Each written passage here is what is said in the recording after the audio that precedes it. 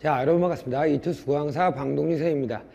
고1, 고2, 고3 학생 모두 다 해당되는 뜻이십니다. 약간은 민감한 얘기일 수도 있을 것 같아요. 음, 제목 자체가 조금 자극적이면서도 우울한 느낌이 들어요. 쉽게 쓰여진 수시입니다. 음, 이제 수시 처리됐습니다. 이제 9월이면 수시를 많이 쓰게 될 건데요. 이 N수생들이요, 저한테 이 얘기 꼭 해달라고, 학생들 해달라고 해서 하는 말인데요. 저도 이제 입시를, 학생들 입시를 하는 거 많이 보면서 느꼈던 점을 같이 얘기하면서 좀 재미난 시를 통해서 먼저 한번 얘기를 해보겠습니다. 제가 여기에 어떤 그 사이트에서 본 시인데요. 한번 발췌해 갖고 출처도 한번 적어 놨는데요. 한번 보겠습니다. 귓가의 수시가 속살거려. 육광탈은 나의 얘기. 아, 육광탈 뭔지 아세요? 육광탈의 시어의 의미는 수시 여섯 개를 다 망한 아, 것이 육광탈이라고 합니다. 육광탈은 나의 얘기. 수험생이라는 슬픈 천명인 줄 알면서도 한 줄의 시를 적어볼까? 땀내와 사랑내 포근이 담긴 원서 접수증을 받아. 수시가 얼마죠? 한 6, 7만 원 정도 되는 것 같은데 음, 아무튼 원서 접수증을 받아 학생부 자소서를 끼고 음, 늙은 선생의 첨삭을 받으러 간다. 생각해보면 1, 2학년 내신들 하나둘 죄다 망쳐버리고 나는 무효바라 나만, 나는 다만 홀로 원망하는 것일까? 수시는 붙기 어렵다는데 원서가 이렇게 쉽게 쓰여진다는 건 부끄러운 일이다. 육광탈은 또한 너의 기. 창밖의 수시가 속살거리는데 등불이 밝혀 어둠을 조금 내몰고 시대처럼 올 수능을 기다리는 최후의 나 나는 나에게 작은 손을 내밀어 이렇게 말하며 잡은 최초의 약속 수능 미만자 여러 가지 내포하고 있는데요 제가 말씀드리고 싶은 건 이 시가 아니고 이거 오리비 문학집에 나온 거래요 수시대 정신을 좀 얘기해 주고 싶습니다 그 1학년 학생들 잘 들으세요 1학년 1학기가 끝났고요 여름입니다 만약에 1학년 1학기 때 음, 1학년이라고 합시다 1학년이 다 끝났어요 여러분이 겨울이 됐습니다. 지금 2학년 학생들은 벌써 다 끝낸 상황이죠. 이 1학년 끝난 상황에서 내신이 내신이 3등급 이하라고 쳐봅시다. 이 3등급 이하라는 학생이요. 만약에 수시 음, 예를 들어서 학생부 전형, 내신 전형이죠. 이 학생부 전형으로 이 스카이를 가려고 합니다. 갈 수 있을까요? 매우 매우 매우 어렵다는 거예요. 근데 문제는 이 사실을 아무도 알려주지 않아요. 특히 학교에서도 알려주지 않아요. 왜냐하면 학교에서 만약에 알려주면 어떤 현상이 발생할까요? 애들이 내신을 포기하겠죠. 그것 때문인데 스카이를 내신을 가려면 일반고에선 최소한 1.25등급, 1.3등급 안에 들어야 된다고 합니다. 물론 선생님 저희 학교 선배는요 1.6등급인데 스카이 갔는데 라고 한다면 그, 학, 그 학교는 아마 조금은 좋은 학교 뭐 외로 시작하는 학교는 아니지 과로 시작하는 학교라든지 아니면 자립형 사립고일 경우가 되게 많습니다. 솔직히 대학에서 우리 삼불 정책이라는 게 있어요. 삼불 정책이 뭐냐면 첫 번째 본고사가 있고요. 두 번째 기부 입학이 있죠. 그 다음 세 번째가 바로 뭡니까? 고교 등급제예요. 문제는 대학에서 암암리에 고교 등급제를 하고 있다는 현상인데요. 그러니까 만약에 지방에 있는 안 좋은 그 고등학교와 서울에 있는 과학고를 비교했을 때 서울에 있는 과학교 1등급과 지방에 있는 안, 안 좋은 학교 만약에 예를 들어 서울의 과학고 3등급과 어, 지방의 안 좋은 학교 1점 몇 등급을 거의 동일하게 본다는 것이죠. 이러면 안 되는데 대학의 입장은 이해는 갑니다. 아무튼 안 되는 건 안 되는 거죠. 그럼에도 불구하고 이런 현상이 지금 발생하고 있고요. 문제는 왜 내신 3등급 이하가 수능 때까지 만약 2학년, 3학년, 1학기까지 내신이 정말로 정말 미친 듯이 얘가 이제 막 완전히 환골탈퇴해 갖고 어? 그 다음부터 전교 1등을 막 했어요. 전교 1등을 했어요. 그래도 뭐야? 1.3등급이 되기 힘들다는 거죠. 전교 1등을 계속 하는데도 불구하고 이게 왜 그럴까요? 혹시 아세요? 왜 그런지? 내신은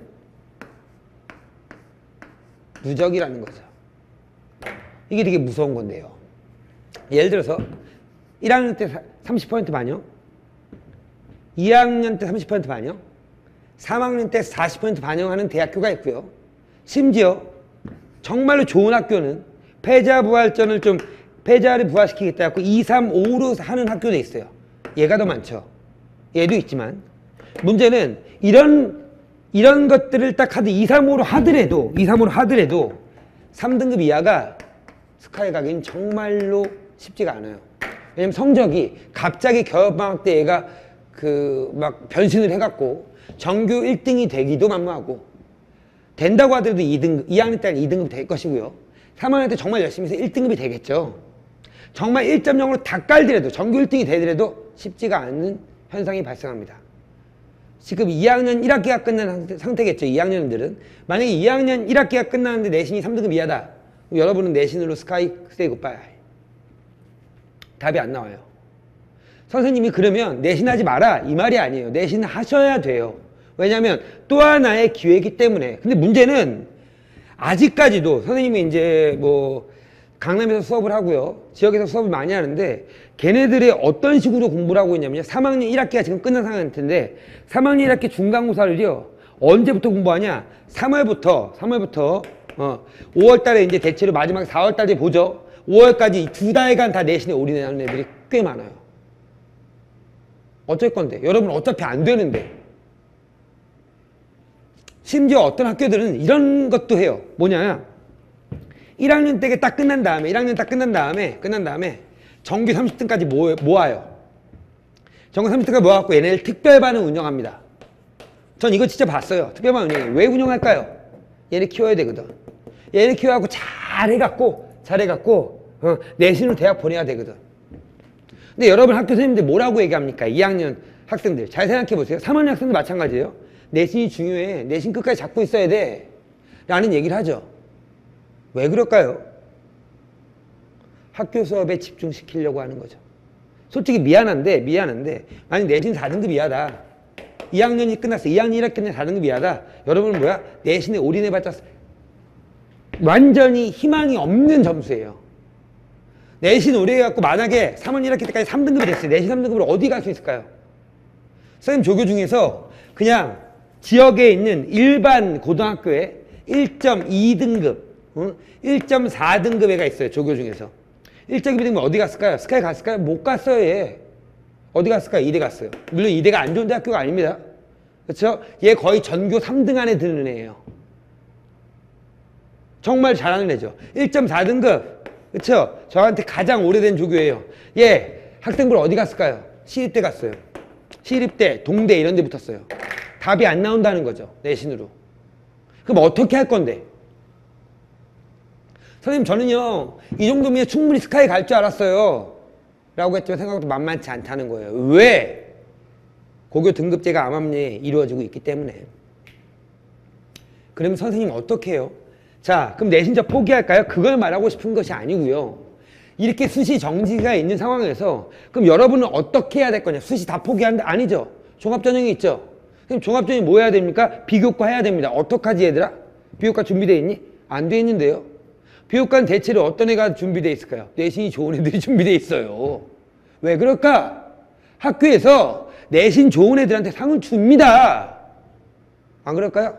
학교는요 무조건 스카이를 몇 명 보내냐 서울대학에 몇 명을 보내냐가 고등학교의 평가이기 때문에 교장 선생님의 어깨가 이렇게 올라갈 수 있는 것이기 때문에 당연히 특별반 아까 했던 애들 걔네 위주로 비교과도 진행이 되죠 선생님 저는 비교과도 없고요 내신도요 3등급 이하예요 저는 어떻게 해야 되나요? 그럼 어떻게 해야 될까요 얘? 자 고3들 고3들 물론 늦은 감이 있어요 안타까워요, 솔직히. 그럼 고3도 뭐 해야 될까요? 당연히 뭐 하셔야 됩니까? 고3, 고2, 고1 마찬가지예요. 대부분의 전국에 있는 학생들이 고2 때까지, 고2 때까지 거의, 거의, 거의, 거의, 거의 수능 공부를 안 합니다. 80% 이상이. 그럼 뭐만 할까요? 죽도록 내신만 하는 거죠. 내신, 내신, 내신. 수시가 정말로 이제 80%까지 올라간대. 그러니까 무조건 내신 아니면 난 대학 갈 방법이 없어. 미안하지만 어떻게? 학생부는 별로 늘지 않았어요. 종합전형이 많이 늘었죠. 그럼 어떻게 해야 될 것인가? 내신 말고 종합전형 말고 갈 수 있는 방법은 딱 두 가지밖에 없어요. 뭐밖에 없을까요? 논술. 또 뭐예요? 수능밖에 없어요. 제발 부탁인데 고1, 고2 때부터 논술과 수능 공부하세요. 그럼 장담하건대 여러분 여러분이 무시했던 담임 선생님한테 스카이 합격증 들고 갈 수 있다고. 넌 어차피 내신으로 안 되라고 했던 선생님한테. 근데 아직까지도 뭐 하냐면 여러분 내신 내신 내신 내신 내신 하지 말라는 얘기가 아니라고 다시 한번 얘기합니다. 선생님이 이 얘기 꼭 해주고 싶은 건 선생님 오늘도 3교시에서 수업을 했는데 재수생들한테 좀 많이 물어봤어요. 너 왜 여기 왔어? 그러니까 뭐라고 하는지 아세요? 3학년 1학기 때까지 얘 내신이 다 등급이었어요. 어, 1학기 때까지 죽도록 죽도록 내신만 했대요. 그리고 결국은 다 실패한 거죠. 육광탈 당한 거죠. 여러분, 고1 여러분, 고2 여러분 특히 물론 고3도 아직까지는 희망이 있습니다. 수능 좀 남았어요. 어? 준비하십시오. 아셨죠? 어? 이 얘기를 꼭 해주기 위해서 여기까지 제가 TCC를 이렇게 더운 날 찍게 되었습니다. 특히 고1, 고2 학생들 여러분, 선생님 지방 가면, 아니, 지역학원 가면요. 무슨 얘기가 있냐면, 저는 대치동도 가봤고요. 대치동도 해갖고 반포, 이런 강남 지역과 또 다른 지역들이 있어요. 학원이 많은 지역에서 평촌, 특히 평촌, 중계, 선생님 이런 데서 가- 다니거든요. 지금 학원은. 아, 어머님이 다 나오십니다. 오십니다. 한 100명 정도 오지만 오시면 어머니한테 뭐 물어보냐면요. 국어 학원을 지금 보내고 계신 분, 그분들은 대체로 예비 고3, 고3들, 고3이 되는 어머니들이에요. 국어학원은 보내시는 분들 하면요. 완전히 달라요. 뭐가 다르냐면 강남에서 선생님이 얘기를 하면 거의 90% 이상이 국어학원에 보내고 있어요. 5월 국어 인강을 듣고 있어요.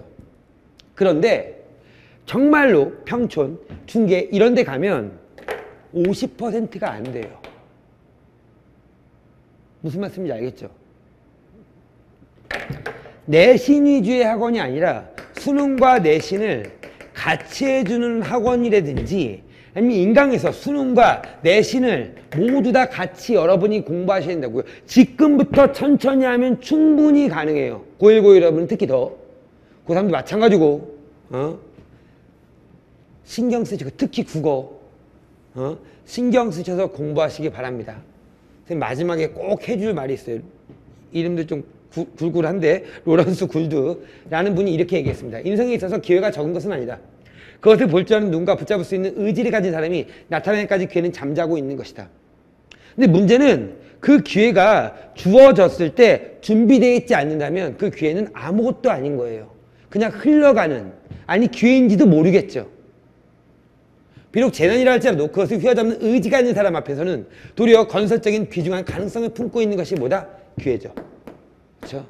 여러분 기회는 쉽게 오지 않습니다. 음. 다시 한번 얘기하지만 고3이 되기까지 아니면 수능을 보기까지 철저한 준비를 하시는 여러분이 되길 진심으로 기원합니다. 쉽게 쓰여진 수시가 되지 않기를 기원합니다. 여기까지 말씀드리겠습니다. 안녕! 예, 고생하셨습니다.